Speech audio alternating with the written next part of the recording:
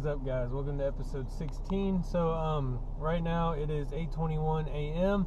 um off to do my morning cardio my first session of the day and then I have class at 9:40 all the way up till 2 225 today is leg day so I'm gonna try to get my legs in. Um so right now I got this Mio energy that I'm drinking.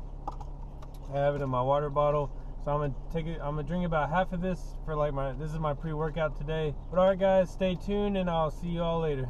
All right, guys, I just finished up cardio. So today, this morning, I did 20 minutes on the stairmaster again. I had I had it on level six through seven. I, I, I had to bring my notes with me, so that's why like, I kept the I kept the level down because I didn't want to like because if I put it on 10 and I start walking and I'm looking down at a piece of paper, like I, I, I tend to trip.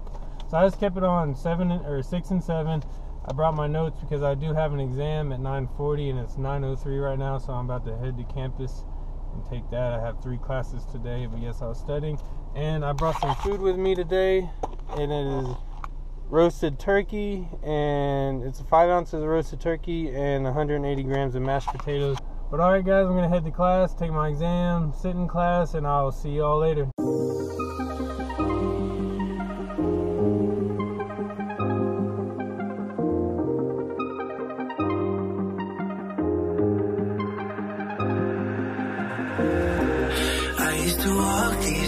These roads with you.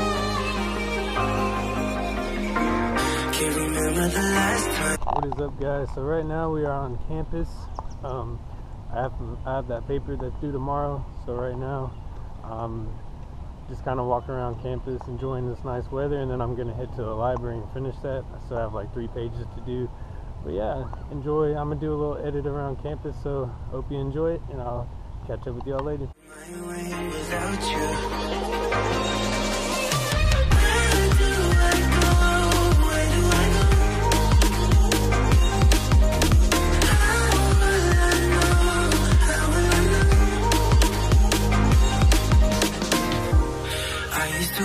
These roads with you.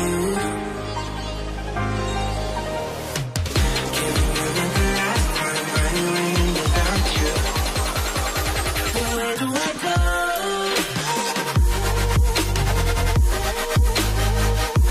Where do I go from here? Where do I go?